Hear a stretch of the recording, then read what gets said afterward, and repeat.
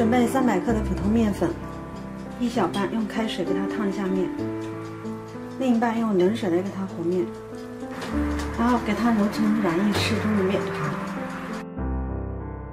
和成这样的面团，给它密封醒发一会儿。准备一把洗净的韭菜。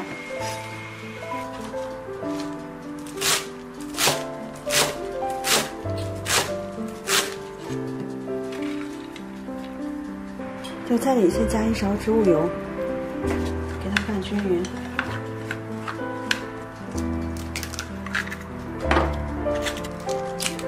韭菜里给它打入两个鸡蛋，加入两勺蚝油，适量的五香粉，然后给它拌均匀。盐在最后的时候再加。把鲜花的面稍微给它揉一下，做成长条，分成大小一致的小面剂。小面剂稍微给它整一下形，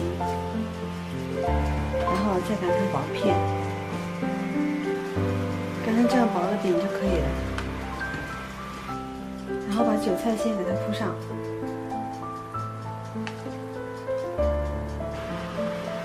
然后从一头折起来。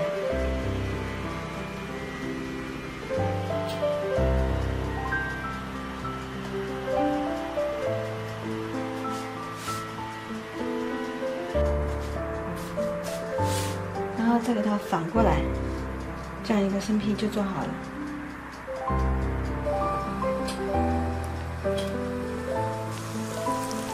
平底锅上一层植物油，把做好的韭菜生坯给它放进去，开小火慢煎。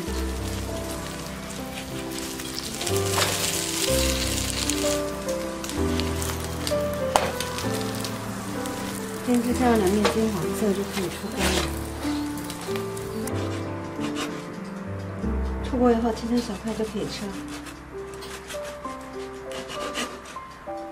韭菜鸡蛋这样做比韭菜盒子省事又好吃。